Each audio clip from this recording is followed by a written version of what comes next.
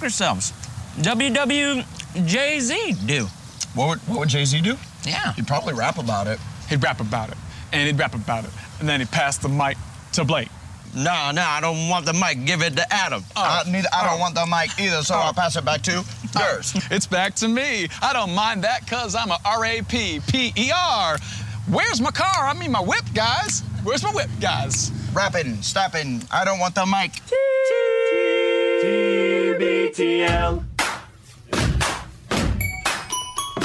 Guess what day it is? Guess what day it is? It's Friday. Friday. Gotta get down on Friday. Everybody's looking forward to the weekend. My wife's on one of those damn planes these guys are fooling with. That puts me on the playing field. And if you'd have moved your fat feet when I told you to, we wouldn't be hip deep in snow right now. That's it. Security, you're out of here. A year ago, this is exactly what Greg Kinnear was doing, but now he has an Oscar for Sliding Doors 3, colon, Jingle All the Door. Poopity scoop scoop. Poop, poop. The story of this situation is it's extremely personal. Well, all right. Hello, good morning, and welcome everyone to a Friday edition of TBTL, the show that just might be too beautiful to live. Oh, it might not be good for the mind, but uh, it's most definitely good for the soul. My name is Luke Burbank. I am your host. Back away, banana breath. What the hell did you just eat? A banana? Coming to you on a beautiful Friday morning. It's Fleet Week in Portland, Oregon. The big ships have moved in, the sunny weather is here, and things are fine and dandy, my friends, here on episode 4223 in a collector's series. Let the fun begin. Uh, some kids in Ireland, like tweens, some 12 year olds in Ireland may have written the song of the summer, I'm like seriously excited. I'm kind of shy, but mostly excited. or at least the song of my summer. You think you can match what we do? I doubt it. It's the opening salvo from these kids from County Cork. I have heard this song in my head for the last four or five days, and now I want to put it into all of your ears so you will only be able to hear these Irish kids for the next three, four days. That will come up uh, later in the show. Also, time permitting, the most famous waterfall in China is apparently at its source coming out of a big pipe, and it's How dare you? it's actually an interesting contrast in cultures. They don't seem that mad in China about it, about the fact that their most beloved waterfall is just shooting out of a pipe that a hiker noticed when he got up to the top of the waterfall. I don't know if it'd go over that way here in the good old U.S. of A. Uh, so we'll get into that. We'll do some music for your weekend, and we're going to talk to this guy, the longest-running Cobra of the show, maybe best known for his depictions of the tall ships. Your voice is like a combination of Fergie and Jesus. He's Andrew Walsh, and he's joining me right now. Good morning, my friend. I'm afraid I lied to you, Luke. I don't Uh-oh. even know exactly how or why I was um, pulling that intro package for the beginning of the show, and I told you there's some Mhm. weird drop in there where somebody's yelling, and I said I think it's like the TV edit of Die Hard. Some guy railing about his wife being on a plane and ankle deep in snow or something like that. But then I heard, as I listened again just now, I hear I heard a Dennis Franz in there. There's no Dennis Franz or even airplanes in Die Hard, is there? Or snow. Or snow. It's at Nakatomi Plaza in Los Angeles, California. As Bruce Willis famously says, come to the coast, we'll have a good time. Like the whole thing is unfolding in No, Los I don't- Angeles. I don't there would never be movie. snow. That's he doesn't say that in Die Hard. I don't. Did you say that in something else? I think I he says rosebud. He says rosebud. Oh, Die yeah, no, you're right. You're Wait, right. do I have this And he right? is Yeah. sledding. There is snow. There is You're absolutely right. I think there's snow, and there's an amazing opening shot. Okay. But he has to choose. He has to make a very hard choice, right? It's some it's Die Hard's choice. I think terrorists take over the newspaper that he runs. I don't know. I'm all confused now, but I am. Con- I think I will be honest with you. Will you play? Are you able to play yeah, that drop in le- isolation? well, I have to search for because I don't know what it is. But here's what I know. Here are the, here are the factors that I know. I will try to talk and Okay. Google my machine at the same time. Just over here googling my Please stop. Googling your machine Okay, during the fair. program, sir. That is fair. I remember this goes back a long time ago, probably when I was when I made that mix years ago. Um, you were out of office I don't know why. I emailed you and said, What's going on on the show today? And I got an out of office response. And so I said, We'll get Hannah Brooks Olson to fill in host for you that day. And I know all of this because she and I must have already started our cleaning podcast, Spotless, at that point, because I did a bit with her. I did a quiz with her, I believe, where I, because quote unquote cleaning or cleaned up things are, are a raison d'etre, um, I created a quiz of cleaned up lines from movies as they broadcast on TV. So I went on some journey of finding all these like wacky examples of movies Right. as they were Fami- cleaned up for broadcast. What were you gonna? Do? Were you gonna jump in there? Oh, you're clearing your throat. Never mind. Sorry. Um, so all of that is to say, and as I'm googling around here, I think was Dennis Franz in Die Hard 2? Was Dennis Franz Very in Die- possible. okay, let me do something here. I need to get rid of this music for a second here because I may may have Yeah, found and I tape. can't remember the plot of Die Hard 2. Die Hard 2 might have been happened somewhere snowy. Die Hard on a snowy plane. Is that what they called it here? Mhm. Let's take a listen to this. They gotta be close. Somebody better get this snow off this mother trucking plane. They gotta be close. I'll have my men tear this airport apart. Okay, I think this is it. I have this labeled It's as definitely Die Hard Franz. 2 Bruce Willis edited. And yeah, but I'm hearing Jingle I'm- all the doors. I am getting some very strong notes of Dennis Franz. They gotta be close. I'll have my men tear this airport apart. Just in the nick of time, huh? Hey, McClane, I got a first class unit here, SWAT team and all. We don't need any Monday morning quarterbacks. Hey, forget Monday morning. My wife saw one of those damn planes these guys are fooling with. That puts me on the playing field. And if you'd have moved your fat feet when I told you to, we wouldn't be hip deep in snow right now. That's it. Security, you're out of here. So that voice, okay, now Is it's that supposed to that's be supposed to be Bruce, Bruce Willis. Willis? Yes, yes. How amazing is that? Please, uh, Andrew, Yes. could you play that for me one more time? Yes, I'm trying to get. I'm trying to maybe skip ahead a little bit here. Here we go. Nick of time, huh? Hey, McClane, I got a first class unit here, SWAT team and No, all. no, we need to go back because we need to compare and contrast Yes. Bruce Willis's voice. So I'm just going to play the whole thing. I mean, it's worth it. Oh my gosh! Absolutely. th- somebody swoops in. I mean, you can't really tell where the Bruce Willis begins and ends, can you? They gotta be close. I'll have my men tear this airport apart. Just in the nick of time, huh? Hey, McClane, I got a first class unit here, SWAT team and all. We don't need any Monday morning quarterbacks. Hey, forget Monday morning. My wife saw one of those damn planes these guys are fooling with. That puts me on the playing field. and if you'd have moved your fat feet when I told you to, we wouldn't be hip deep in snow right now. That's it. Security, you're out of here. That guy sounds like they grabbed somebody from Fargo. I don't know. How was that the best person within reach? How was I that don't the best- understand it. I swear, my come out to the coast. have- that's a better Bruce Willis impression. I should. I, I can't do this on the fly. I should transcribe what that line is, and you and I should see if we can do better Bruce Willis reads Oh, of those yes. words. Except, I, I got to say, I don't think I can do a Bruce Willis at all. I mean, I, I can't. I didn't think I could do one either, but now that I know what was passing for a Bruce Willis impersonation, I think that's how Bukowski started writing. I remember that that was something that I read in an interview or something a long, long, long, long time ago, and it stuck with me. Was like he didn't consider himself a very good writer, but then he was looking at what other people were writing. He's like, well, I can do better than that, or at least as good. So that's where that's how your Bruce Willis imitation was born. How would I? Also, I mean, I know Bruce Willis was a a big action star at the time and very busy and very in demand, but for all the money that they paid him for Die Hard 2, Yeah. it did not include him just like stepping into um, a, a recording booth for literally two hours and just just like rip off all of you know just quickly read the lines that they knew were going to need to be changed for television broadcasts. Like Could again, he I know Bruce Willis. is- refused because it was so poorly written? Do you think he didn't want his voice attached to that terrible line read? I think there's a certain level of Hollywood stardom where they just don't. Mm-hmm. You know, there's a famously there's somebody who who apparently does all of Morgan Freeman's like ADR, all the stuff that needs to get recorded later that they didn't film. Um, or that they, excuse me, needed to change. By the way, apologies for my voice. My allergies are once again just absolutely. Um, I'm in uh, some kind of a Zyrtec commercial right now. I'm the guy who didn't take Zyrtec and regrets it.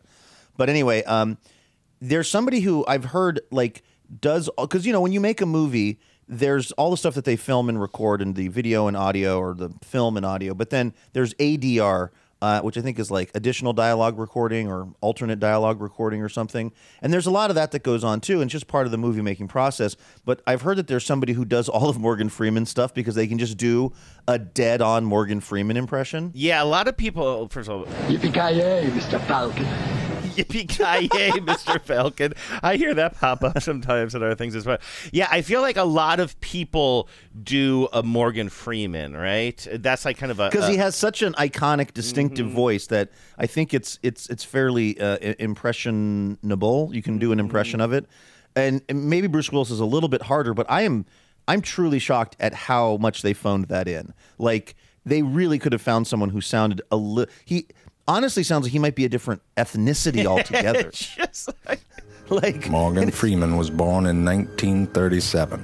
This is he narrated his own birth, saying, Leaving the warm comfort of his mother's womb, I, Morgan Freeman, enter the world. Soon I will make my first poop, one of many in the life of Morgan Freeman. so that I feel like there was a time when I pulled a lot of Morgan Freeman imitations. That really is Morgan Freeman or someone no, doing that's a Morgan somebody, Freeman? I'm uh, God. I th- I think that's somebody doing him. I haven't. That is just labeled Morgan Freeman parody. That's from a long time. I believe that what's about to follow is really going to amaze. Now that's really Morgan Freeman, I think, and this is fake Morgan Freeman. Morgan Freeman was born in 1937. He narrated his own birth. We also have somebody. What about Will him- Forte saying "truly was"? Because that's that's vaguely a Morgan. Fre- I think Is I that think what he's doing? Inspired by well, I think his tone of voice sounds like he's trying to kind of be have some sort of gravitas. Hmm. That's a little, you know, we associate Morgan Freeman with like the height of gravitas. Yes, I'm looking for that. We also. Oh, here we all don't we also have him singing the thong song, or at least narrating? Oh, sure, it? narrating it. Yeah, so yeah. scandalous. And you know another couldn't handle it. So you're shaking that thing like who's the ish. With a look in your eye so devilish. I guess that's all we have of that. And that's not all. That's also a Morgan Freeman impersonator. That's right? just an impersonator, and that clears my file. I, so, I, for Mm-hmm. people who think that this is going nowhere, we have reached the end of anything that is labeled Morgan in my, except for Piers Morgan, and we don't need to go into that uh, here. Yeah, let's not put any oxygen into that Yes, fire. right. Um, I wonder now that you're playing that, I'm thinking like, I wonder if the and it's a pretty niche, uh, pretty niche thing as is, but like, I wonder if the day of the celebrity impressionist is coming to an end because of AI. Because pretty soon, I mean, we've had it happen here. Like, the people have made AI versions of us. We've made AI versions of Andy Rooney. It's not quite there, but if it's you know if it's following Moore's law, if it's if it's improving sort of exponentially, we'll be able to have an impression of anyone who's ha- ever had their voice recorded, and it will probably eventually be almost spot on. You know, I that I, I had sort of forgotten about this when I was living in LA. I was like listening to a lot of the Kevin and Bean show, which of course Mm-hmm. Bean is a good friend of ours now.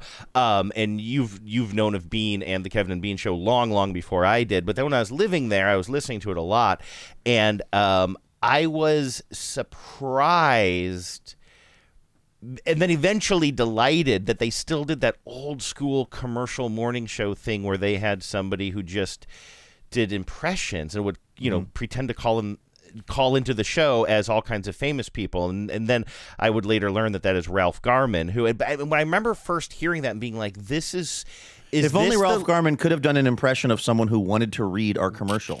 Yeah, no, no, I think you're thinking of somebody else. Ralph Garman has never done a read for us before.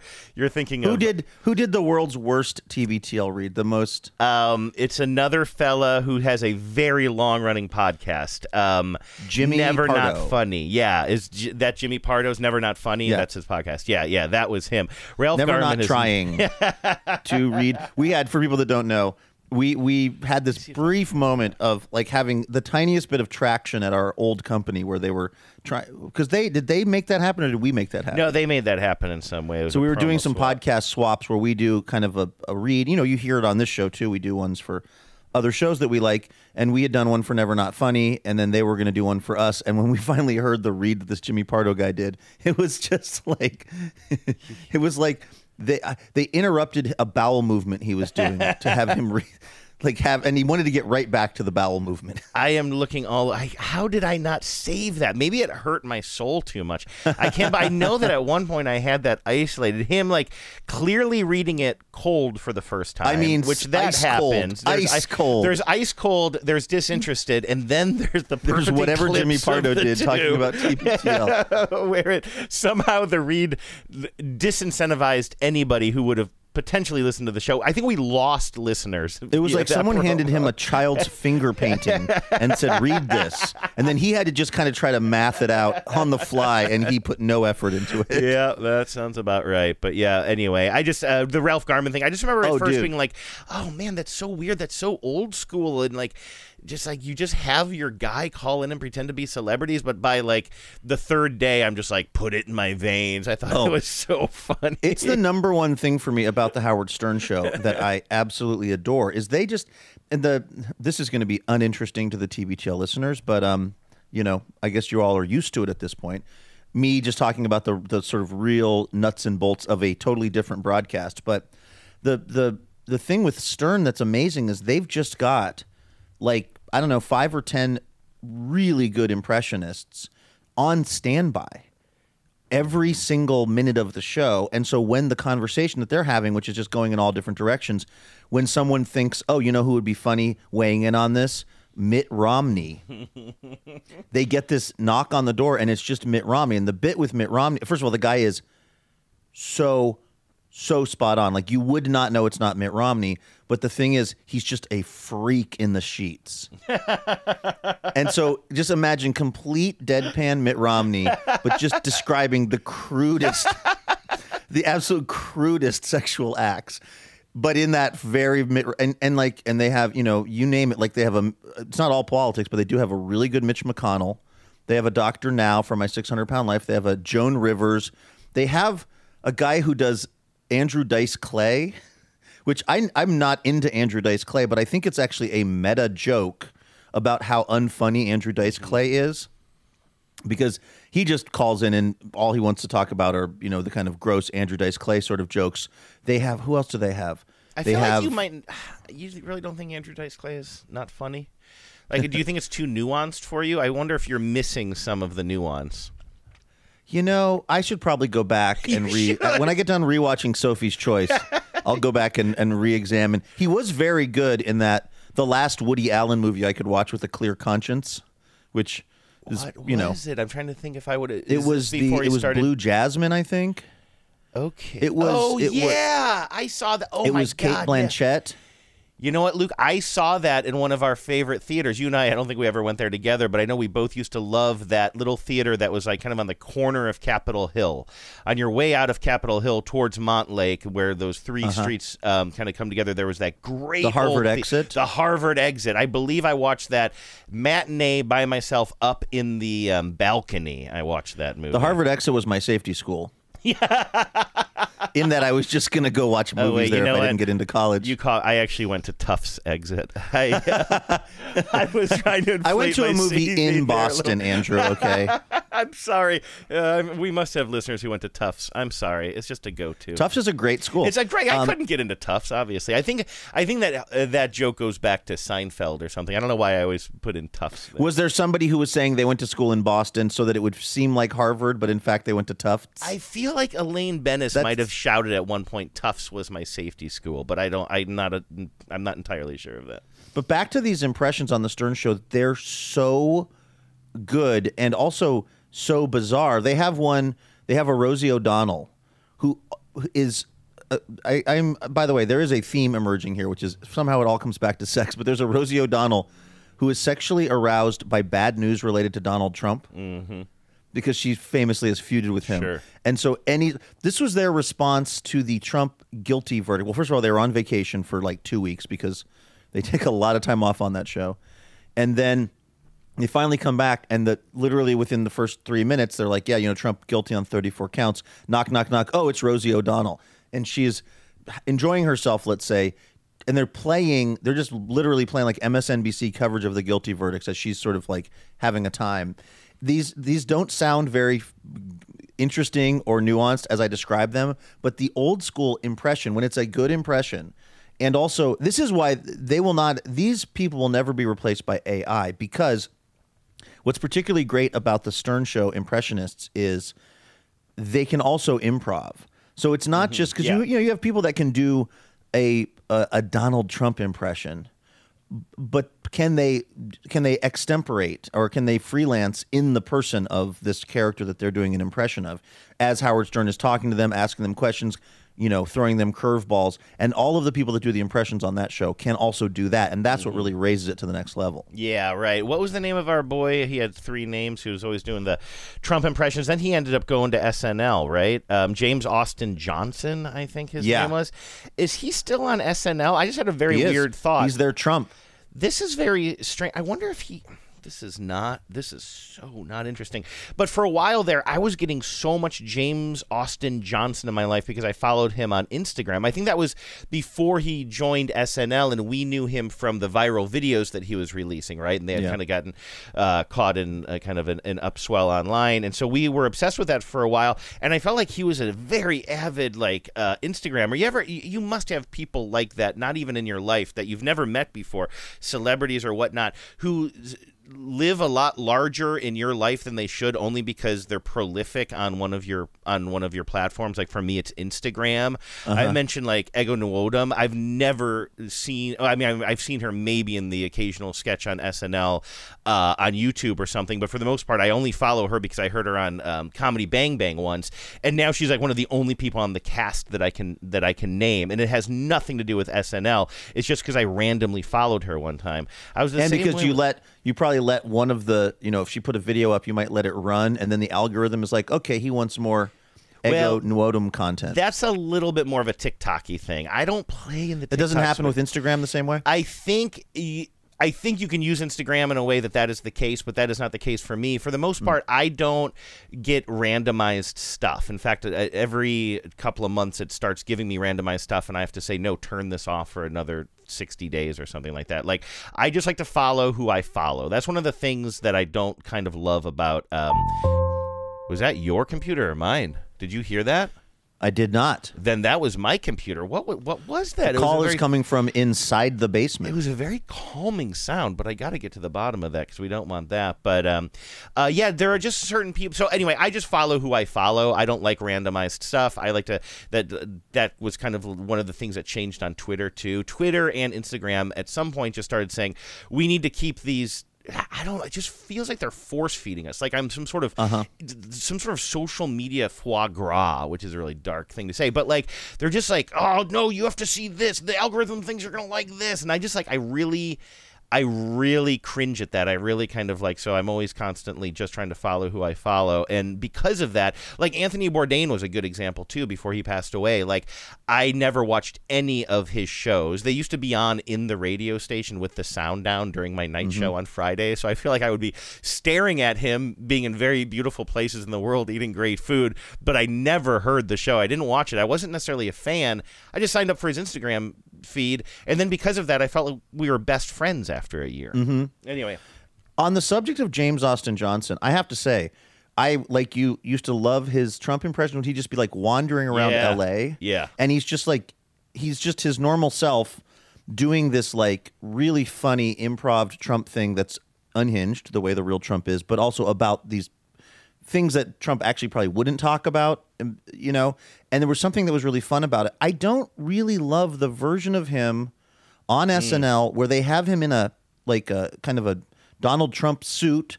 They you know they add some weight to him. They do the hair. They're trying to make him physically look as much like Trump as possible. And the thing about it that I find unsettling is I feel it normalizes Trump in some way because it makes him not what he really is, which is a threat to democracy, but just kind of like your loony uncle mm-hmm. who says loony things, but you know, you gotta love him kind of a thing. And I don't think that's like what James Austin Johnson is trying to do. I don't think that, that that's his goal, but I feel like it's what's happening because I, I thought his Trump impression was so great, and then he went on SNL, and I was like, oh, cool. Now they have a really good Trump impersonator. But but the few sketches I've seen where they trot him out as Trump, the few cold opens, again, I feel that it really just makes Trump seem less threatening and more just kind of batty. Like, oh, that's just Trump being Trump. And I don't like that effect. Yeah. I, have stuff to say. I just don't think we want. The only thing I have to say there takes it to a not fun place. We move further and further away from the um, Ralph Garmans and um, and and uh, Howard Sterns and get more into the NPRs, which is just sort of like I mean that is that is the that that's the tough nut to crack, right? I mean, specifically for journalists, I think, but also, I guess S- you're describing a version of this on SNL, where you know, I think most of our listeners would know that a couple of months ago there was like kind of a lot of like news coming out of NPR, but not the kind of news that they want, not them just doing journalism, but you know, the editor Uri Berliner there, sort of like kind of publicly stating that NPR has lost its sort of um, sort of lost its way as far as representing all sides or both sides of of you know stories and specifically politics. And i sort of feel like well that is what like organizations like that that are trying to they're trying to keep a foot in reality and also present all sides but not normalize something that is definitely not normal right? And that's kind mm-hmm. of always been the problem with trump is like we don't know how to we don't know how to especially i guess as kind of media people that are maybe trying to not be biased because that is an SNL thing, right? Like SNL in a certain way, I feel like back in the 70s they were just like the liberal weirdos, but like in the 90s they kind of became like, you know, we'll have well Giuliani was a New York guy, so that makes more sense. Well, they had Trump like, host. They used have he Trump wasn't political. host. Yeah, he wasn't yeah. political at the time, I guess. But I guess they just sort of like yeah, and those are both I guess kind of New York stories. But generally speaking, like I think SNL also kind of doesn't want to be. They they're trying to speak to Middle America as much as Mhm. as much as the coasts. Yeah. Yeah, I mean, um, well, let me. You know what? I'll respond the uh, like my friend Andrew does sometimes. Yeah, Yeah, that's why it's just I- bad. It's just bad. yeah, it's just bad all around. And I should yeah, have it's like left it at yeah. Actually, can I? Can I actually? Can I get? I took us on this train. I don't want to cut you off, but if you're as uncomfortable as I am, kind of getting into this world on a Friday, let me bring it back to Stern for a second because I, please, one of my favorite topics. as I've mentioned, that's why I thought you'd be okay with me steering it back to that. Um, one of the things that you've mentioned recently, as you've been listening to a lot of Stern and it's sort of popping up on the show, is your complaint that like he just takes so much vacation, they don't have that much new content. When they release shows, they're long and and, Yeah. and you enjoy them, but then they'll just go dark for so long. Well, um, I don't think I mentioned this on the show, Luke, but I've been enjoying a free subscription to Sirius satellite radio the past couple of months, and this time I've been kind of listening to a lot of various things, but not so much Stern. And the other day, I was at the gym and I was like, oh, this would be the perfect time for me to dip into some Stern. Maybe Luke and I can even talk about it on the show. Like, what's up with this guy? So I go to the app and I play what looks like the latest episode. I'm like, oh, Oh, man, forget it. they haven't posted anything in like a couple of weeks. But I was on the full episode. I wasn't looking for clips. I Okay. went- I- so I did find a full episode. And so I went to the full episode tab and I'm like, I guess I'll play what the latest one was. And it looked like it was a couple of weeks ago. And I'm playing, I'm listening to it. And, you know, it's okay. In the back of my head, I'm like, oh, they're talking about sports. They're talking about like the basketball playoffs. And I know that this is outdated. I kind of don't like that. I like listening to like that type of programming. I like it to be a little bit more up to date. But I'm like, okay, this is fine. Until we're like 15 minutes into it, and I realize, oh, it's all leading up to his controversial comments that we did discuss on TBTL about how he had a theory about how the players don't Oh, go yeah. up to him when he's at Well, the he- games because, or the black players don't because they don't Yeah, like him as much because he's white.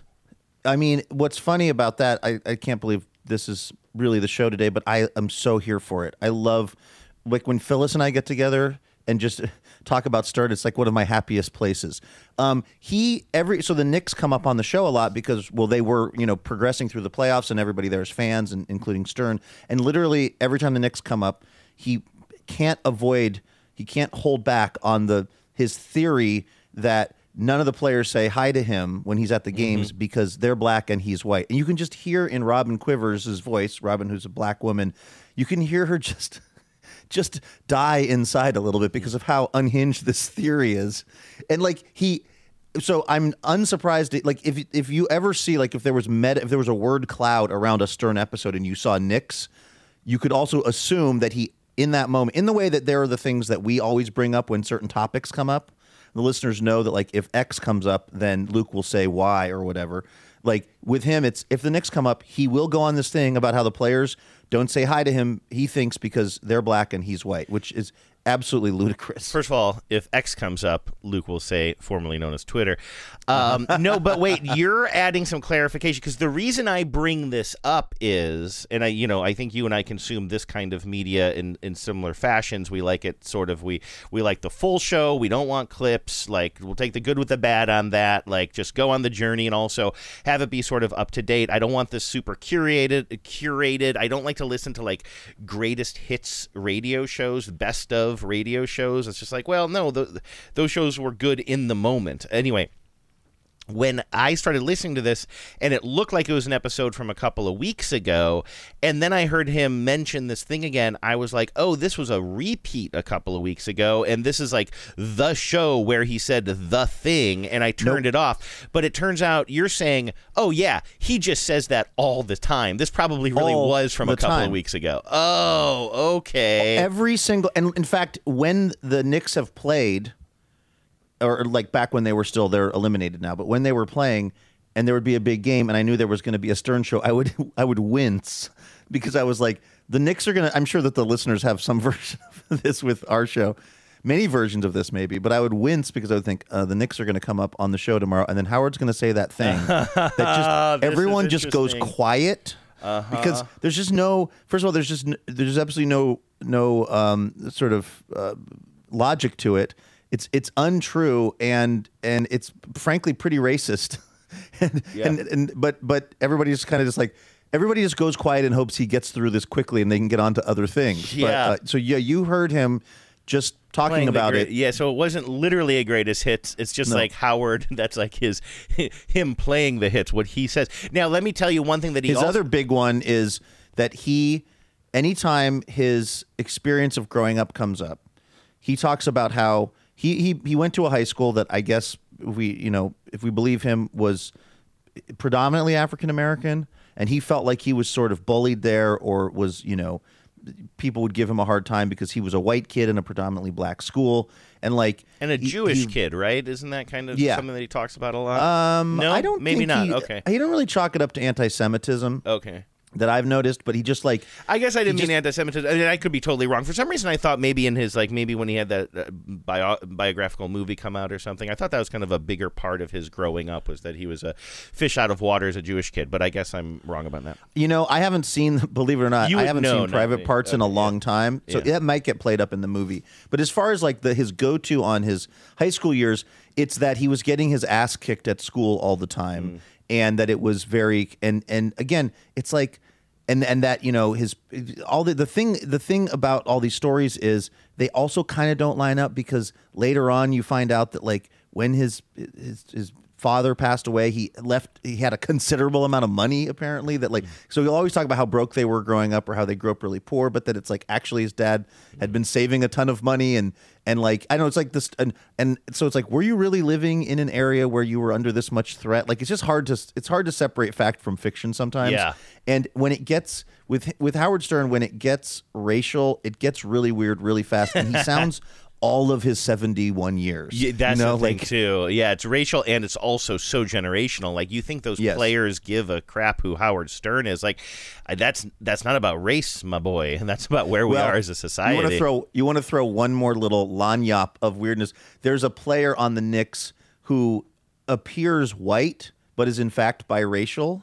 Oh yeah, and he brought this and Stern up. keeps talking about this. Well, that guy should like me because he's white, and the guy's not even white Uh, technically. he brought that up. So again, but again, these are things that he just keeps bringing up over and over. It wasn't that Hartenstein or oh whatever. my god. Okay, but I will say this. So to turn away from that fraught topic for a second. In fairness, though, the Portland Trailblazers do not like me because I'm white, and because I root against them actively because I'm a Sonics fan. that is true. Oh, actually, somebody sent in what they claim is a sharp shot, but it just sort of confused me. I want to ask you about it here in a second. But I do want to say, um, you know, when we talk about Stern, I'm sure there's a lot of people who are listening who just like do not understand uh, what you would like about the Stern show or whatever, especially when it gets into kind of the raunchy Particularly when it's as fraught as it is. the well fraud and then also the, the sort of raunchy stuff or whatever. But like i will say that whenever i listen Um, even that one, I shut that off after about 15 minutes because I thought, oh, this was from months ago when he made headlines for saying this wackadoo thing. Um, but even in that 15 minutes, he will almost always, if I if I start listening at the beginning of the show when it's just the banter, I know that's your favorite part too. There's always something that sticks with me, and like I mean, sticks with me. Mm. I remember one of the first episodes I listened to as like, you know, in the past several years when I kind of revisited the show, him coming back from break, surprise surprise and talking about losing a cat, I think. I don't remember the Yeah. details of it right now. It was it was incredibly gripping and I felt for him. Um, and this time he was just talking, it was just kind of a throwaway thing that he mentions, but he mentioned he was watching the Knicks game and he's like, I can't stand, he's like, I don't like sports. I don't want it to be close. He's like, if I'm going to sit down to watch the game, I just want it to be a blowout. I don't like the games. I just like winning. And he says, same thing when I play chess. You know, I go online and I'll play chess against, I don't know if this is again something that he says a lot, Luke. So maybe you're, you're nodding in agreement because you've heard that you've heard him say this a million times, but I found it fascinating when he says, "When I go online and play chess, like you're supposed to choose a level that is." You know, represents your skill set. He's like, I always play like the lowest level and I just destroy the opponents. and he's not talking about playing against a computer. He's talking about playing against real people in online chess matches. He's like, I don't, and he's like, I don't, I just don't, I don't want to play. I want to win. And I just found that to be so fascinating. And then I came home and I put my baseball game on the easiest level. It just smoked the Yankees. Got like Very 35 relatable. hits and 22 runs or something. It was great. I, I will say for the listeners, and I'm sorry that the last 20 to 30 minutes have been especially kind of probably inaccessible to many of you. I want you to know that I hear you and I see you as TBTL listeners because when when people say, "Well, what are you into?" and I say the Howard Stern show, for the majority of people I say that to, the look of confusion that crosses their face. And then I'm trying to explain, well, I, it's not all like strippers anymore. It's, you know, sometimes it's Rosie O'Donnell having at herself, you know? It's not it's not I try to explain it it makes no sense and then I just basically change the topic. That's got to be what it's like trying to explain TBTL to people. Like what is this thing that Yeah. you listen to 10 hours a week sometimes and and donate money to and you're flying where to go see what and then you try to explain this and then people are like they just kind of glaze over. I want the listeners to know that I know that feeling because that's what happens when I try to explain my love of the Howard Stern show to the average American. Although we, at least in this case, have the benefit of not also having a reputation. You know what I mean? If I say, sometimes I say to people, like, people are like, well, what is your podcast about? And I'll kind of try to explain that it's not about anything. And then at some point I might say, you know, it's kind of like the Stern show isn't about anything, you know, it's just a show. But if you say that, you know, most people who don't listen to the Stern Show, what do they think of? They think of the raunchiest stuff. They think of the strippers in the studio when it was a TV show. You think of early Mhm. Stern, and you know he courted that. Like, and that's not Yeah. that's not erroneous. But uh, but the show's been around for how, how long now? 35, 30 years, thirty five years. I, I'm bad I at know, a math, long time. long damn time. So it obviously it, it evolves as well. Not that they've totally from your and Phyllis's description, it sounds like um, they haven't fully stepped away from this. Well, that's the thing. I, I think for a while I was trying to do this sort of like a reputational repair on that guy, and now I'm just done doing that because it's honestly not really true. Yeah, Like, right. I was going around going, well, he's he, you know, he's he's not like the guy that was throwing you know lunch meat at. A, a, a semi-clad woman in the studio anymore. Now he's like, you know, well, he did interview Biden, by the way. Oh yeah, I heard Like, somebody mention his I mean his politics I think are are generally in the right place and I think I don't know who can look into a man's heart.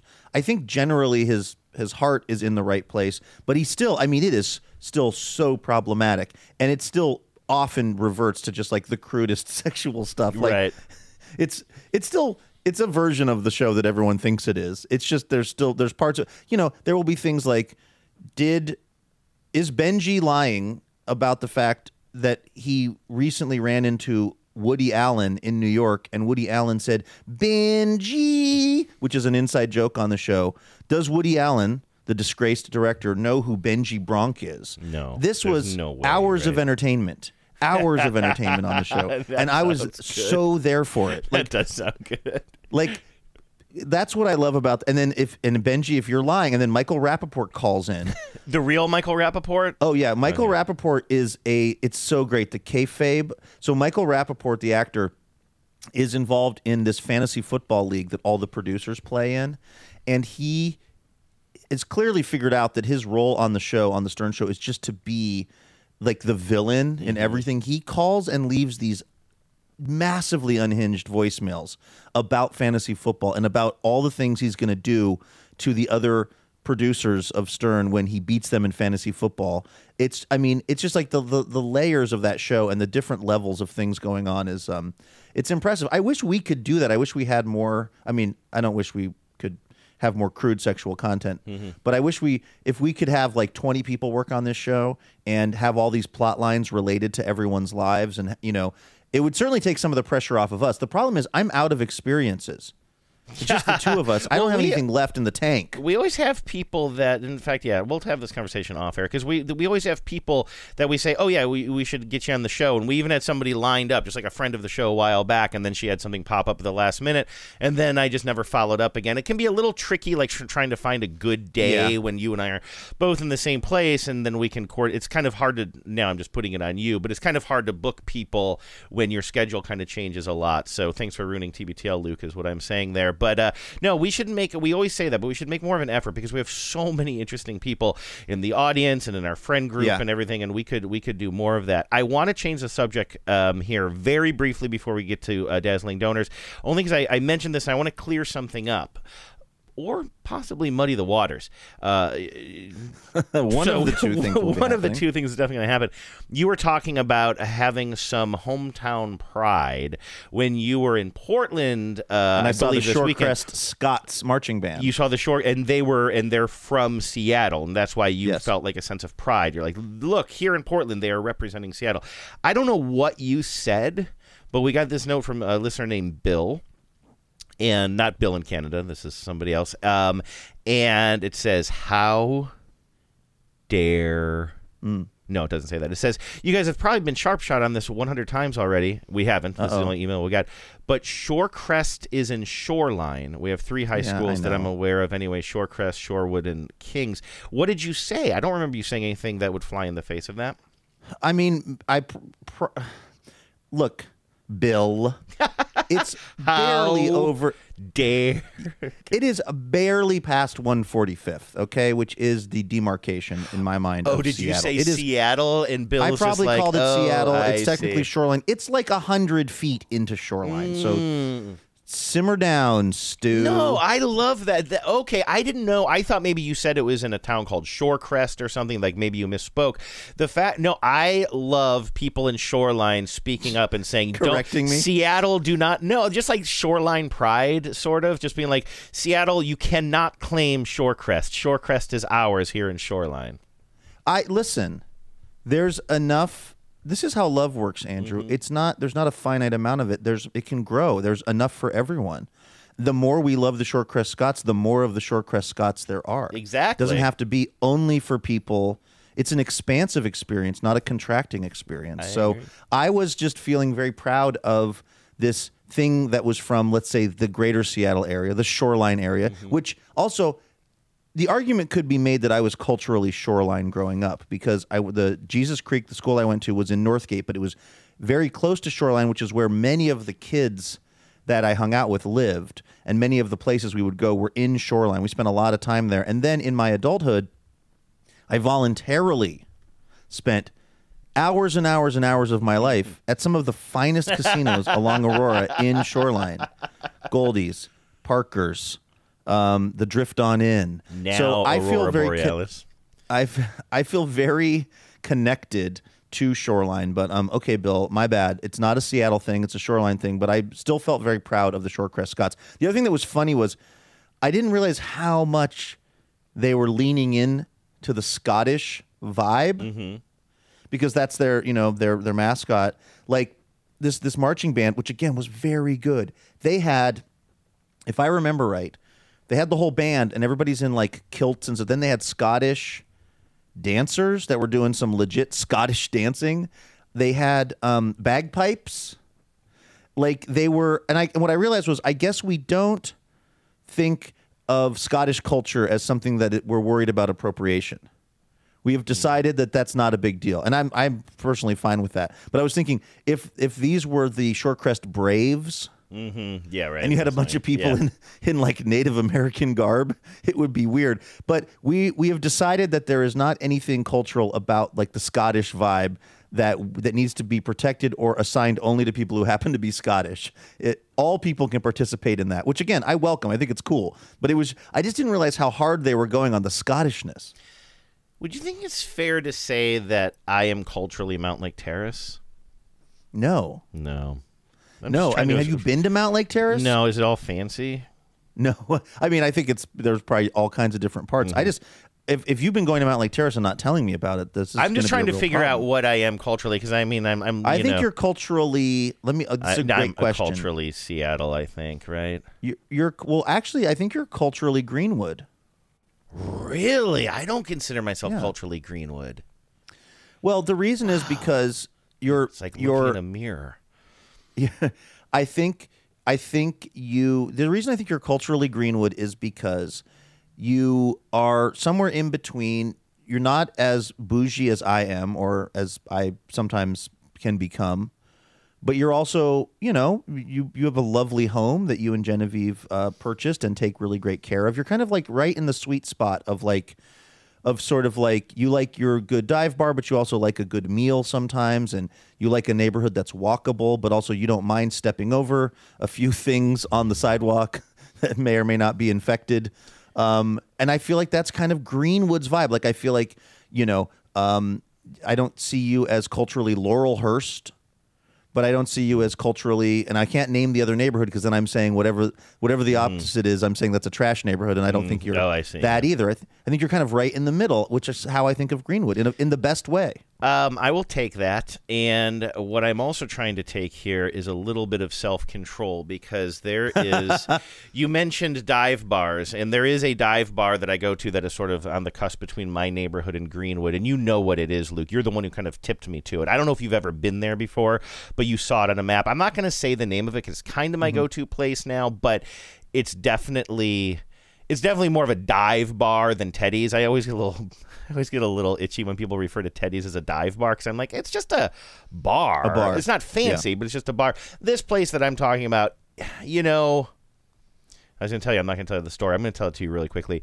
This place that I go to from time to time is not super convenient for me, but probably the most convenient place if I'm just going to, if I'm on a walk. And I was on a long walk the other day, and I was like, you know what? I'm getting a little thirsty for, a, for like a Coors Light. It's out of my way, but I'm going to walk up to this bar. And so I extend my walk by maybe 20 minutes or whatever. I go to this bar. Now the thing about this bar is it it it has a pretty you, I don't think I would want to go there with you. I think you'd be pretty off put. I think this has gotten worse lately where it's got a very strong like fake fake aroma of something that seems like they're covering up something. You know what I mean? like a strong like urinal cake isn't the isn't quite it, but like that direction. You know what I mean? Uh-huh. Like a, a pretty strong, some kind of urinal cakey smell that sometimes Hey. Google, what covers the smell of human decomposition? Yeah, right. It, and like uh, Vives and I went in there one. Like I've always noticed it a little bit, and it definitely is concentrated in the men's room where you can really tell that it is covering up something in there. And then sometimes you go in the bar, and the whole bar kind of smells like it. Vives and I one time went in there, we were just like, "Oof," and we kind of got out of there relatively quickly. Um, other times it, it settles into the background nicely. um, but I'm also so anyway. I do like this place. I really like the bartenders. Um, oh God, yeah. One time I was sitting there with Genevieve and some guy. I was looking at the TV above his head, and he was all messed up. And he, I heard him start saying to me, he was like, "What are you looking at? What are you looking at?" And I told the bartender about this later. Um, I just went into full like, oh, I, I, I didn't even make eye contact with him. I could hear him, and I think he was really messed up, and he was looking for a fight. And I found out later that he had been looking for a fight. And I just, I have some sort of self-preservation thing that is much like a mole in nature. I believe. I just locked onto that TV screen. I didn't look away. I didn't give any indication that I heard him. And I heard his brother say, "Calm down, dude. I think he's just looking at the TV or something." But then I heard him like keep on mumbling. Then he kind of brushed past me later, and then I told Genevieve and the bartender about it later, and they had no idea it was going on. And I was like, "I'm telling you guys, this was going on." She's like, "Yeah, he was itching for a fight this whole time." I was like, "Yeah, but I am like just like I just." I just like slipped into nothingness. I just you guys didn't see it, but I just made myself disappear in front of everybody's eyes. And I'm here The to E-line has taught you much. exactly. Okay, that's not the story. The story is I go in there the other day on the on the sort of uh, spur of the moment. I'm like, you know what? I'm gonna I'm gonna get a beer. So I go in, and the smell is I don't know about what it usually is, and I sit down at the bar. And then I go into the bathroom, and the bathroom again is kind of nasty. It always is. There's like one urinal and then one stall, and it is a stall where you can close the door and everything. But I would certainly never use it. And I go in the bathroom, and it does kind of smell, and it's both a combination of something not right and then something trying to make it right. And um, and I, I use the urinal, and then as I'm walking away, somebody's leaving. No, no, it's right as I walk in. Some guy's kind of leaving the stall, and he sort of is kind of like ducking out of the stall a little bit. I'm like, oh, hey, sorry, man, uh, whatever. And I think he washes his hands. I'm not even 100 percent sure of that. Um, and uh, and I use the urinal, and then I realize as I'm as I'm washing my hands. Oh, I do remember he washed his hands, but anyway, I, I realize there's a sign on the stall that says, "This is out of order. Poop at home."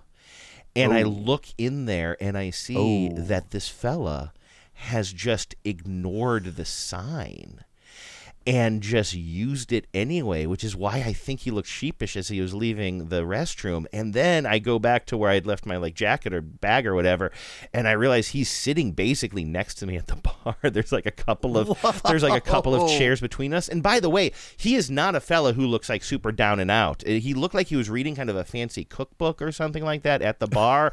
um, you know, he did not. He didn't look like somebody again who was like kind of down and out. He was cooking up trouble for that and the per- person who works at the bar who has to deal with that. If that toilet doesn't flush, then what is that person going to do? Dude, I kept thinking about it the whole time. I was like taking glances at him, and I was just kind of like, you know, that meme where there's somebody stand. It's like a very simple, like hand drawn meme, and it's like a bunch of people at a party, and there's one person in the corner, and it says they don't know that, and then the meme is you fill it in, like it might. No, be I don't know that Okay, meme. well, I'm not gonna, I'm not gonna extend that any further because it's too hard to explain. I think some people will know what I'm talking about, but like the whole time, I'm just sitting at the bar, just thinking like they don't know that I know that this guy just pooped in a toilet that literally says "Don't poop here, poop at home."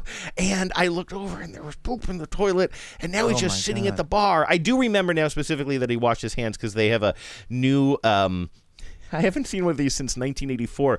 A new uh, like towel loop. To wash your hands in, you know those Uh, old oh, machines wow, with yeah, the, the like cloth? Aramark. Yeah, you just like pull the new fresh part of it, and then eventually like Yes. replay. Like those things that were I think those are outlawed in many states. I think so. That that's the new one. They've added that in the past like five months or so. So I remember that guy using that thing because I remember watching him and thinking like, oh, good, it's not busted today because sometimes it's busted. so anyway, I'm I'm thinking like, okay, well he's washed his hands, but there was something so dirty about sitting next to the bar at the at the next to the mad pooper, and I was just thinking I like, I mean, feel that's- bad for the bartenders here. Absolutely, like they're dead and they don't even know it. exactly. I you couldn't. I mean, just based on your description of the bar, you couldn't pay me enough to poop at this place if everything Yeah. was working. Yeah, you know what I mean. Like exactly. this, we used to say this about the Mandarin Gate, um, or we used to go a lot. I mean, it was the stuff of nightmares. If you if you unfortunately had to go number two while you were there, I mean, you, that would be Oh, a night ender. Like Oh, I'm just God. going home. Yes, yes. And like you know what I mean. Like like the idea that this person was able to go eh, was able to disregard the sign and just go in that toilet is just shocking to me like that eh, i i if you you know put a gun to my head i couldn't have pulled that off just out of sort of personal comfort Exactly. And and I would say that like if I were in if I were in that position, like some sort of emergency comes on, it's kind of like, oh my God, I I have to do this here. Like, you know, I will just face all of my demons and I have to do this here. I'm not sticking around for a couple more rounds. I'm going well home to that's take a shower. the other part i mean and i yeah i am le- well you know they say that they uh, you know they always return to the scene of the crime Mm-hmm. there's like a suspicious fire and then there's a guy standing across the street going what happened it's like he's probably the Mm-hmm. guy that lit it Yeah, right. He's wearing an old crusty fireman's hat. It's like really. You need some help? yeah. Anyway, uh, I'm Wow, sorry. I've gone on a bunch of different tangents, and we're almost an hour into this show. So sorry. We was hoping for some razzle dazzle. Razzle dazzle. That's right, man. Razzle dazzle. On your mark. mark. On your mark. Get set. Get set. Now ready. Ready. Go. Everybody rattle, dazzle. All right, let's thank some dazzling donors who are dazzling us with their donation of dough. They're keeping this. We ain't the Howard Stern show. We don't have that Sirius XM money. So we've got to hit up people like Michelle McNelly, aka Michelle McNelly Ah. of Edina, Minnesota. I think we did it right. Did I? Edina? Nervous. Now I'm in my head about Me too. it. But I know I got Michelle right. At least that part is Exactly. correct, That's The right, important part. Michelle. We've changed the course of people's lives. We really Michelle have. is now Michelle. Former the artist formerly known as Mhm. Michelle is now officially Michelle because and of it's a very typo. apropos that Michelle is from Minnesota, where the artist formerly known as Prince is Oh, from. good call. Uh, Michelle says, I too am grateful for TBTL Independence and the loving 10s, 11s, and 5s. This year I met up with 10s in real life despite not being able to get to the 4000th show. Sadly, I'm not clever like other 10s, but I do. Well, Michelle, don't sell yourself what are you short. saying there? Uh, but I have two requests more pet talk, uh, going generic so Benny and Pooches do not get their feelings hurt. Hmm. Is that let's see, uh, are Benny and Pooches? Is that a reference to one of Sklarov's dogs? Do I you have a Benny? think so. Yeah, that. Yeah, that's that's what. We're, yeah, Benny. okay. Yeah. So more pet talk. All right. Uh, we can do that. Uh, there's nothing you like to talk about more than bingo. Well, I like to talk about mad poopers at dive bars. That's Honestly, Andrew, that's a good story. I think we should have started with that instead of me talking about Stern impressions. That's a, I don't know, that's I how mean, we got to there, me. though. That's page one. Yeah. that's above the fold. That's like I went into a dive bar. The toilet was broken. I caught a guy coming out of the stall. He dropped a deuce, and get this, he stuck around for the rest of the eve. That's a story, my friend. And the funny thing, like I remember, I remember as I'm like kind of taking this all in, thinking I got to tell you about that. But that happened at least that was like at least a week. I think like two weeks ago. Um, and it's kind of funny how yeah, I should have come in the next day hot with that story. But I think they're better when I have to sit on them for a while. I feel like Well, my know you story sit is with sort it. of I sit with it, and so that one had been sort of ruminating, and you just conjured it up somehow. My my move on that is to tell the story in multiple places and then it slowly gets better. So like last night when I was at Livewire, I told the story of being at the Pendleton jail and being followed by the guard. Oh yeah. But like for instance, I was able to remember that that person is called a guard, which I couldn't when I told the story on TBTL for some reason. I was calling him like the oh. correctional Oh, you said you, no, you said correctional officer. I thought that was totally Yeah, but I don't even. But guard is just a better word Yeah, for it. yeah, yeah. Like, so I'll tell the story on TBTL, and then I'll tell the story on Livewire, and it'll get a little better on Livewire because I've kind of like workshopped it on you. Mhm, Great. And so, like last night when I, I told the story. Thanks I for coming. just picturing me and you at a party, and you've got your Cinco mask on, and I'm just trying all my stories out on you. okay. Anyway, Michelle says, "Could you please play Que Sera Sera, whatever will be, will be by Sly and the Family Stone sometime?" I don't think I even knew that Sly and the Family Stone do a version of that song. I love the original, which I believe was it written for, or does it just make an appearance in the movie Vertigo? Oh, the Jimmy Stewart Hitchcock yeah, film. isn't it? Uh, que Sera Sera is associated with some some Hitchcock film, isn't it? I, I I think of it as an oldie. I don't think I know um, what movie it's associated with. Yeah, I'll I'll look it up. But anyway, I definitely want to hear the Sly version. Also, here's some important news if you are in Minnesota. The second annual TBTL Duluth Who Loves Ya Baby Duluth meetup is happening at Ursa Minor Brewing Saturday, August 24th at 2 p.m. We had a great time last year. The fives and the 11s had fun too. Tens, not from Minnesota or Wisconsin, should know that Duluth is a fun place to visit and is cool during the dog days of summer. Hmm, back to Benny. Yeah. Uh, by the way, Duluth uh, shows up commonly on lists of places we're all going to have to move to when the climate is largely uninhabitable. Yeah. Because Duluth has access to fresh water. The temperatures uh, appear to be in a range that is livable. So we're all coming to Duluth eventually. Just uh, ya, know that, baby? Michelle. Who love you. That's right. Hey, can I take a little victory lap here because I am Please uh, do. so proud of me. I am on Wikipedia right now. It says "Que sera sera," whatever will be will be, is a song written by the team of Jay Livingston and Ray Evans that was first published in 1955.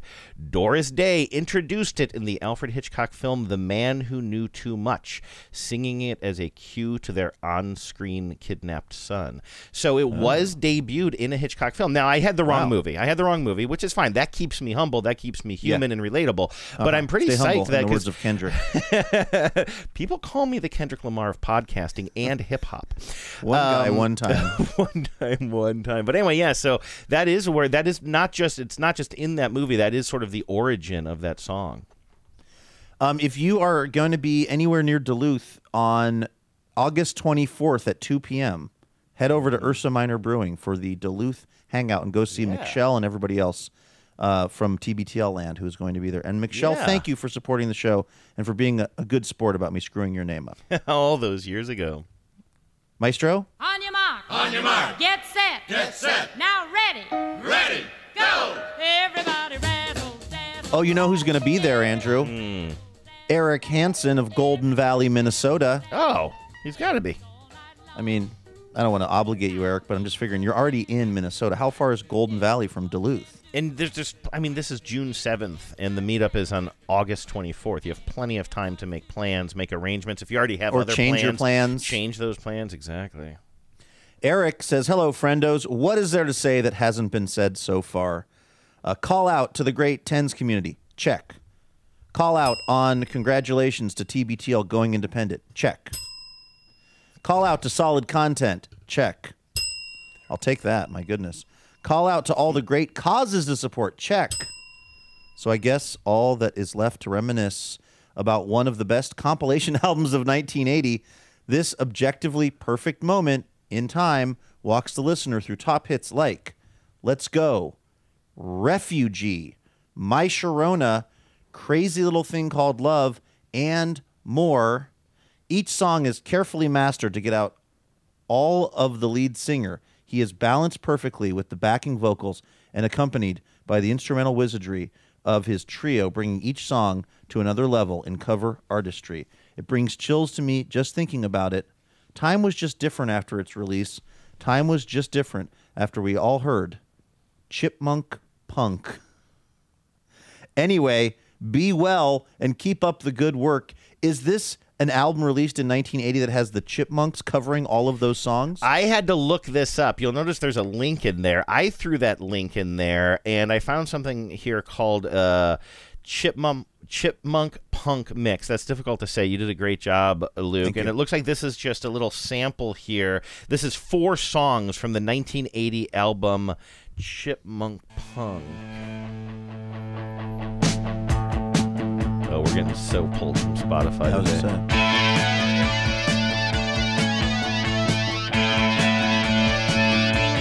What song do we think this is? I'm trying to place it. I definitely know that.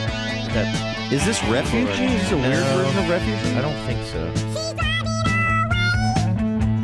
I mean, oh, it's a it's a Cars song, right? Oh yeah.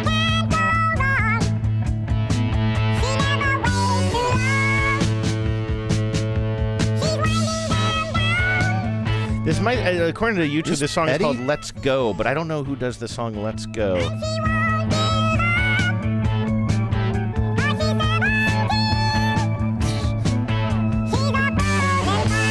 This is the most Friday show we've ever done. So is this a, like is this an officially sanctioned Alvin and the Chipmunks type of thing, or is this just somebody figured out they could turn their record player up to a different speed? No, I think this is a real songs? thing. Chipmunk Punk. I'm looking it up now. I didn't do a lot of research on this. I just found this link. Yeah, look, uh, some people are listing it as a 1980 record. Some people are saying 1981. The full album is apparently available online. I could get this on vinyl right here off of Discogs if I wanted to. Um, so, yeah. All right. It's almost too Eric, punky for me, though, I feel like. Eric, bring a single of this to the Duluth meetup and blow everybody's mind, please. And Eric, thank you so much for supporting TBTL. We could not do this without you. All right. Speaking of music, Andrew, let's um, do a little music for your weekend. But I want to tell you a little bit about my song. Usually we start with you, but it would be okay if we if we start with the uh, song that I want to play for you. Oh, fine. I sit with it. Yeah, of course. I have been um, seeing this song pop up on TikTok a lot, and it's written by uh, some tweens in Ireland. And uh, I'm waiting for this uh, New York Times story to load up. Did a group of Irish tweens write the song of the summer? Uh, on a March day, uh, by the way, let's see who wrote this. Uh, Madison Malone Kircher writing in the New York Times about this. Uh, on a March day at the Cabin Studio, an arts nonprofit in Cork, Ireland, Heidi, age 11, and a group of other children were trying to write a rap song with the help of Gary McCarthy, who's a music producer and Cabin Studio's creative director. It was part of a weekly songwriting program. It's a safe space for young people in the community to come create music, hang out, and just make bangers, Mr. McCarthy said. On this day, the group was trying to write an anthem for, and I'm my Gaelic is shite, Andrew. So, Cruinniú na nÓg, a government sponsored day in Ireland devoted to children's creativity, which is June 15th. Everyone was feeling a little shy and the ideas weren't exactly flowing, Heidi said. Then Gary put on a drum and bass beat, and suddenly it was like a switch flipped and everyone started getting involved. She said it was like magic. The infectious beat has also captivated viewers around the world. The group's song, The Spark, has become a sensation on social media, hailed by some on TikTok as an early contender for the song of the summer. Uh, what could have easily sounded grating to adult ears, think Kidz Bop, is instead unrelentingly catchy. The song's accompanying music video, which culminates in all of the kids rapping loudly in unison on the top deck of a bus, is utterly charming. I don't know what your take on this song is going to be, Andrew. I actually have it here too. I, I've loaded it into my system so I can just play it for you. Um, I- don't know if this if you're gonna need this is gonna need to grow on you if you're gonna like it immediately. What helped me with the song was I first saw this as a video of these kids at a, like an Irish radio station performing it live. Like you know how they do those ciphers now? You'll see those pop up on social media where somebody is like talking to Sway, the uh, the DJ and, and radio host and kind of hip hop guy, and then they'll just put a beat down, and then someone will just have to rap over the Yeah. beat, you know, kind of freestyle. Like it's sort of that energy. It's like these kids. I mean, these kids aren't freestyling; they're doing their song. But I saw them in this radio studio doing it like live, and it was so adorable. And so uh, I kind of was predisposed to like this song. I'm not sure if you're going to love it or not, but just remember these are Irish tweens. It's also unrelentingly positive, this song called The Spark. So here, let me play a little bit of this for you.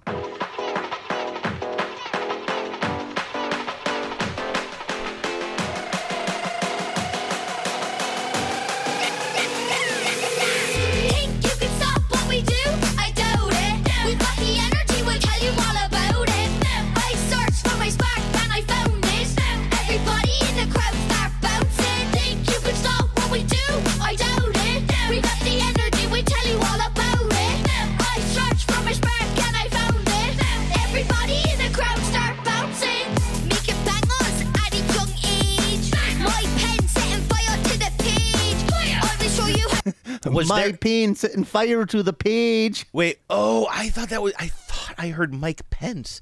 I was like, are these kids referencing Mike? I'm not No. even joking. I was like, why are they dropping Mike Pence references? Oh, by the way, they have bad takes on January 6th. Where were That- they on January? That 6th? is some context that I should have Yeah, added. Probably. No, the the Irish accent will kind of throw you off, but it also is to me a huge part of the charm Mm-hmm. Yeah, of this. Definitely. Here, here we go.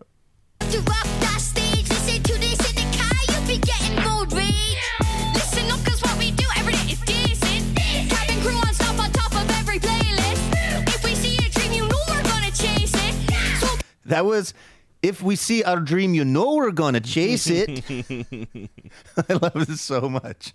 get over any fear, you have to face it. That's my passion and I couldn't live without it. You can do it like we do it,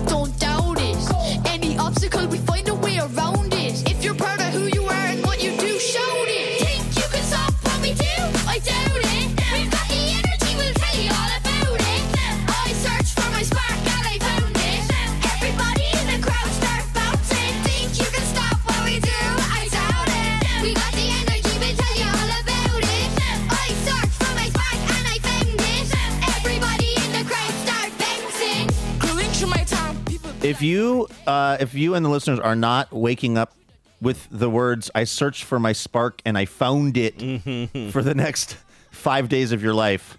I don't know what to tell you. It is to me very infectious, and um, honestly, I haven't heard anything else that that I think is more the song of the summer. I mean, the summer is early still, but um, but yeah. So there you go. That's what I wanted to play for you. The Spark Nice. by uh, by these these Irish kids. Nice. I'm glad to know that story, and I love the story.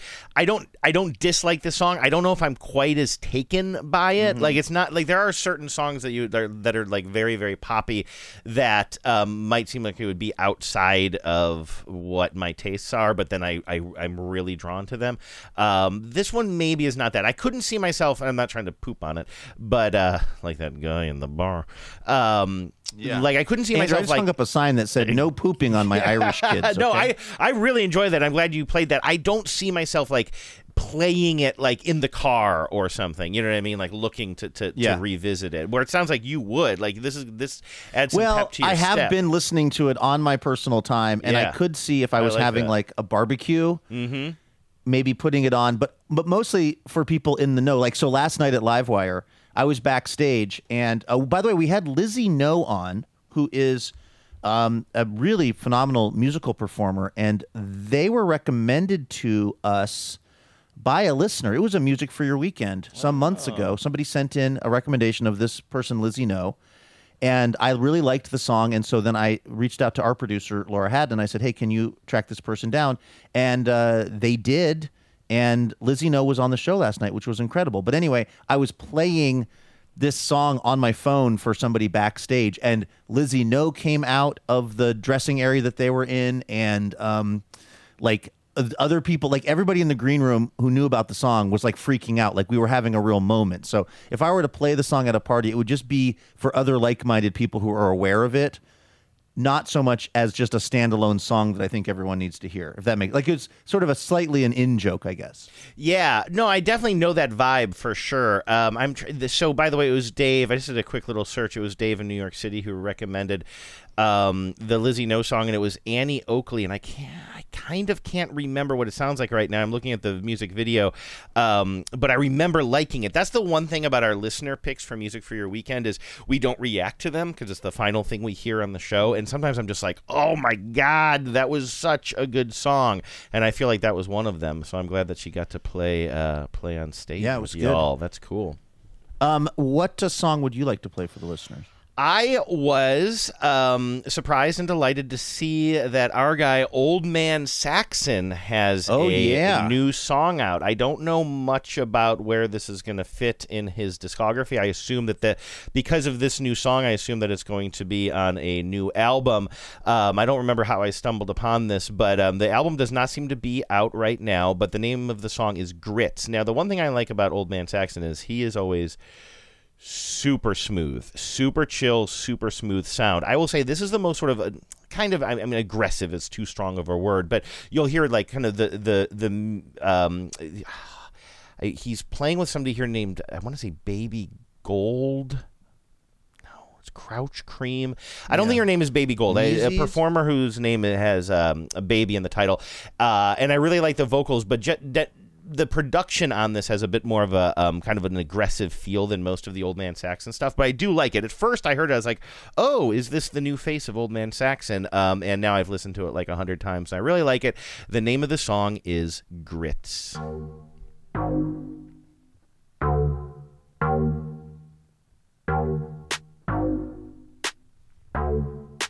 Better go get your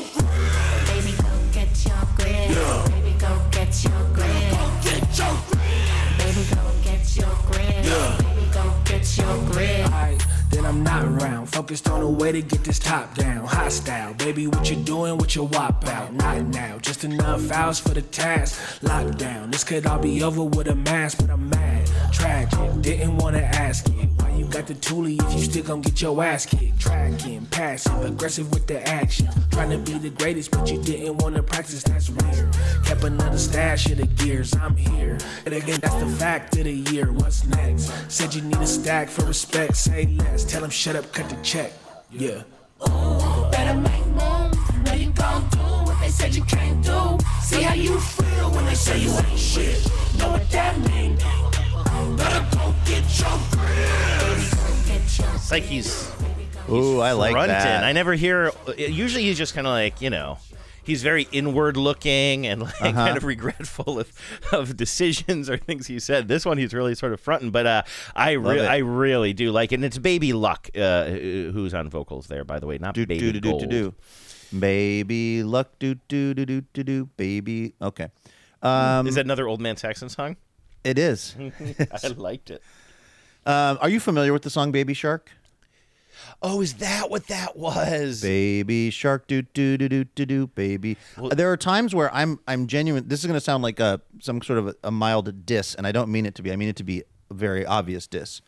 No, I'm there are, are sometimes things in pop culture that I'm surprised you've kind of managed to swerve on. I'm not saying Baby Shark is one of them. Like you mm-hmm. probably know Baby Shark is, but because you do live such a dart based lifestyle, there are sometimes these things like Baby Shark that could kind of miss your radar, oh, totally. but that the rest of us are just being pummeled with. And it's always interesting to me the things that have and have not gotten on your radar. Well, but why you were are you aware of Baby pummeled Shark. with Baby Shark as a not as somebody who doesn't have young kids when that was um, so hot? because I just think I dabble in more kind of lowbrow pop culture than you do. so just like people referencing it or whatever. yeah, or like uh, about it. again, tick TikTokery, or like even people I know that have kids, or like I don't watch the Today Show per se, but I probably I have been. I don't know. I, I can't exactly say why it is. I think I would have known about Baby Shark when you might not have, but I just think it's because I have worse. I just have lower standards for my pop culture consumption than you do. Well, do you know my my one sort of, and then it might have been the only time I actually heard it. I'd always heard of Baby Shark, but the one time I actually heard it was actually kind of a notable moment for me because it was during the time that I was trying to learn how to rollerblade, and so like Ah. I kind of had a standing date with my buddy Nicky. We'd go uh, like rollerblading in, in these garages below the university, um, and the, I was practicing in kind of a couple of different places. But I remember there was a Friday afternoon where I got done with work early, and I drove somewhere down to South Seattle um, to a roller rink, not the cool roller rink that is sort of um, that a lot of adults hang out at, but it was like actually just like a roller rink. And I showed up, I think it was around the, that's right, it was around the holidays. It might have been like between Thanksgiving and Christmas. And I showed up at this place in the middle of an afternoon with my rollerblades just to practice. And it didn't occur to me until I'm in there how weird this would sort of be because it's, I'm the only adult there without kids or any other friends. I'm just this weird like very awkward on rollerblades guy who shows up while these kids are there. It's nothing but kids in the roller rink. And I'm just like, well, I just want to go in circles and practice. And so I'm rolling around a little bit, just thinking, like, this is weird. Like, if I were any parents, I'd be keeping an eye on me. Like, what am I doing there?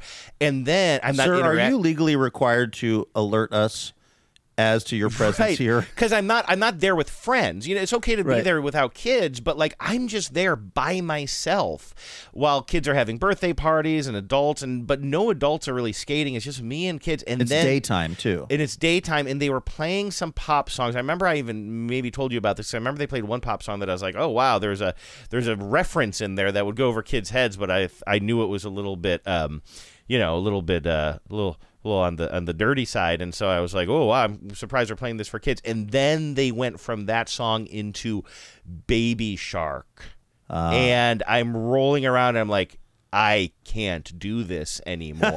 like so, I immediately got out, got off the rink. I don't know if I ever went back on or if I just like. I wonder if they played that for the to day. get you out of there, to get like to see how I would react. Right? like, what if I got really into it? What if I got too into it? That'd be even scarier. But yeah, they started, and I'm like, this is Baby Shark. I got to get out of here.